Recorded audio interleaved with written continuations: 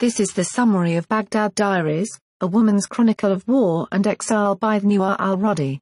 In this often moving, sometimes wry account of life in Baghdad during the First War on Iraq and in exile in the years following, Iraqi-born, British-educated artist Nuha al-Radi shows us the effects of war on ordinary people.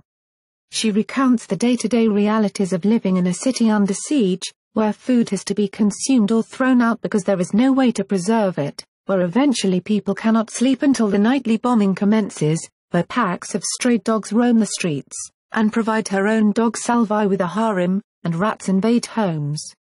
Through it all, Al-Radi works at her art and gathers with neighbors and family for meals and other occasions, happy and sad.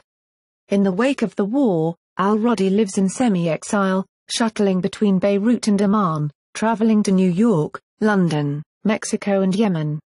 As she suffers the indignities of being an Iraqi in exile, Al-Radi immerses us in a way of life constricted by the stress and effects of war and embargoes, giving texture to a reality we have only been able to imagine before now. But what emanates most vibrantly from these diaries is the spirit of endurance and the celebration of the smallest of life's joys. For more history books and book reviews visit www.historybookmix.com.